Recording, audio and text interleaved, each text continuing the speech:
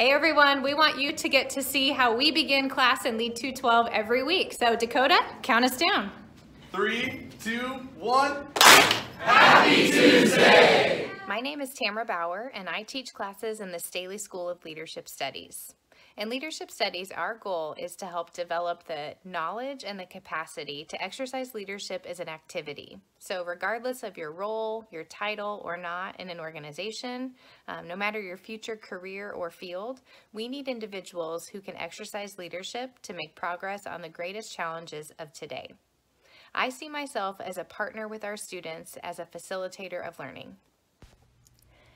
This means it's a co-created process where we are all learners together. In fact, in Lead 212, Introduction to Leadership Concepts, one of the first things we discuss together is the difference between being a student versus being a learner.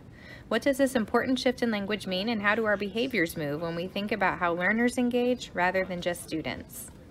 As a facilitator of learning, I also focus on creating asset-based learning experiences.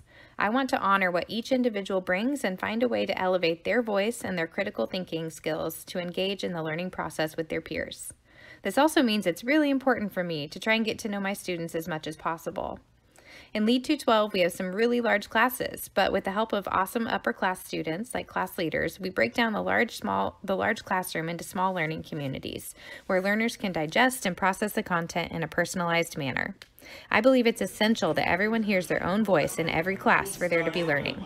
We work to create brave spaces, not just safe ones, where learners can come together, challenge one another, and hopefully grow. We know that learning should be relevant to our students' lives. How does this information not just live in the classroom, but how can it be applied immediately to the places around them?